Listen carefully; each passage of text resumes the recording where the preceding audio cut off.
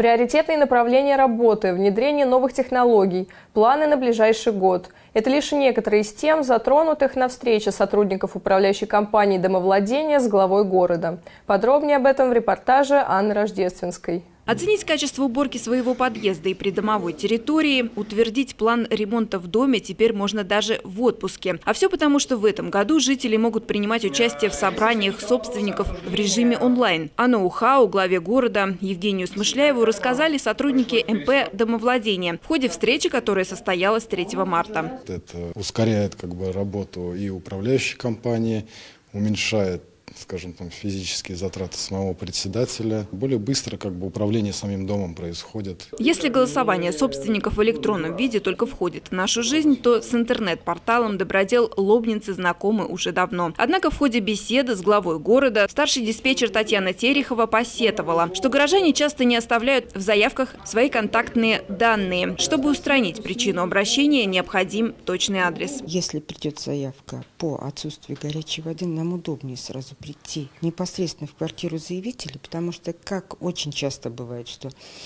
э, не по стояку отключен, а элементарные вещи. Либо он кран перекрыл, угу забыл открыть, либо засор аэратора, потому что бабушки, как правило, они не знают, как это делается. Одно из важных направлений работы управляющей компании – благоустройство дворовых территорий. При этом задачи сотрудников не должны сводиться лишь к выполнению обязательных требований программы. Стремиться необходимо к тому, чтобы через взаимодействие с жителями создавать уют во дворах Лобни. И это главная задача работников управляющей компании, подчеркнул глава города. Хороший двор – это не обязательно как какие-то дорогие комплексы детские, да, это не обязательно какие-то огромные вложения, хотя понимаем, что всегда благоустройство это стоит денег, но зачастую двор создает э, какую-то теплоту в нем, да, это участие жителей, участие старших по дому, какие-то цветники обязательно, какие-то интересные там инициативы, связанные с благоустройством. Здесь, конечно, мы должны э, шаг за шагом планомерно делать так, чтобы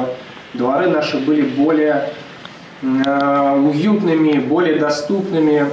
Только за прошлый год комплексное благоустройство было проведено в 18 дворах, отремонтировано 193 подъезда. В 50 домах выполнен капитальный ремонт. В рамках реализации областных и муниципальных программ в тесном сотрудничестве с управляющими компаниями создавать комфортную городскую среду в Лобне продолжит и в этом году. Анна Рождественская, Алексей Жуков, Денис Рокин, телекомпания «Лобня».